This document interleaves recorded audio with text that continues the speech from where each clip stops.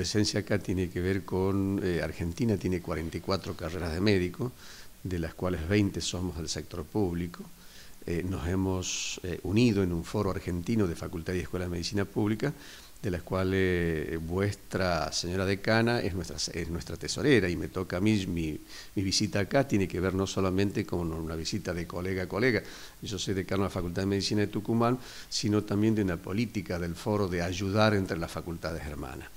Eh, este foro está dirigido en este momento por tres personas, Lidia Blanco como tesorera, Ricardo Helpiti, decano de la UBA como secretario, y en mi caso de Tucumán presidiendo esa organización.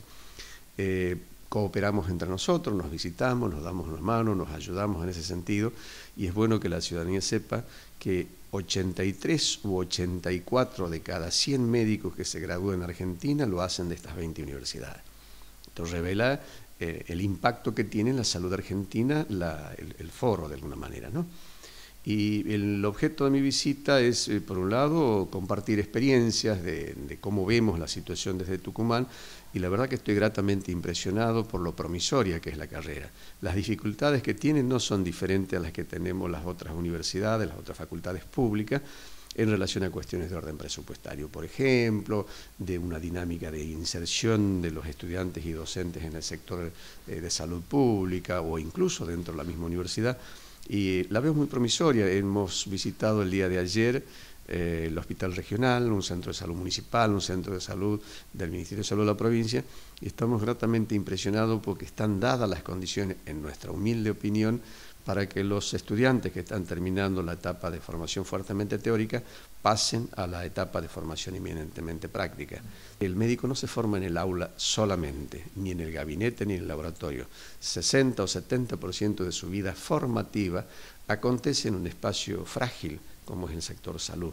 Y hay un aspecto que también me pareció interesante, es eh, que de alguna manera hay que desmitificar, que se dio en el diálogo de ayer, el concepto de hospital-escuela de todas las carreras de medicina del país, no superan la media docena las que tiene un hospital escuela. En Tucumán hemos discutido mucho este tema y creemos que contar con un hospital escuela no es la mejor opción. Los hospitales escuela, para que la ciudadanía comprenda eh, con claridad, eh, son lugares referenciales en donde el paciente que va no, no, lleva una enfermedad muy común, muy frecuente, lleva una enfermedad un poco diferente o poco común, un poco extraña, y va con la esperanza de que allí lo trate. O si va con una enfermedad muy común, la diabetes, por ejemplo, va al hospital escuela cuando está en etapas muy avanzadas. Y a veces va al hospital escuela y por la necesidad académica de mostrar ese paciente a los estudiantes que aprendan, podemos poner en riesgo los derechos de los, de los, de los ciudadanos, de los pacientes. Nosotros creemos que, y, necesitamos que los médicos que se formen, se formen como médicos generales, como médicos que vean el día a día, los problemas cotidianos. Eh, discutimos mucho con algunos estudiantes a veces porque van a un centro de salud primario y dicen, pero acá lo único que veo son diarreas o infecciones respiratorias. Y la respuesta, y los chicos. Y mi respuesta es, de eso se mueren nuestros niños. Por lo tanto, en eso tienen que volverse duchos al momento de recibir el título.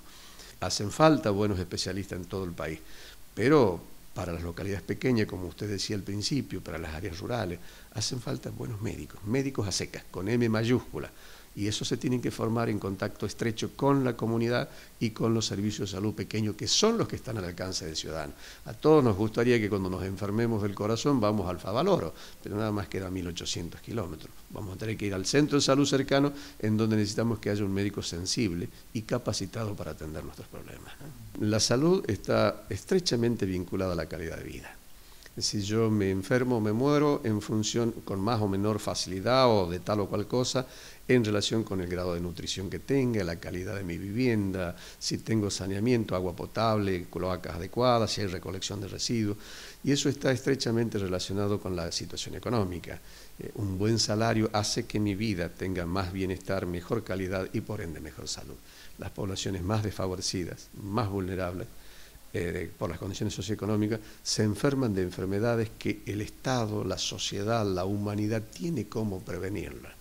Y no deja de ser una crueldad que el sistema social no eh, controle esas situaciones cuando existen las herramientas científicas y técnicas para hacerlo.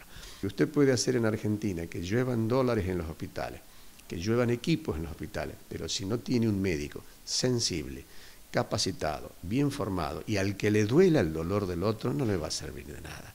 Y ahí es donde la academia tiene la obligación moral y además legal de formar buenos médicos para poner al servicio del sistema de salud.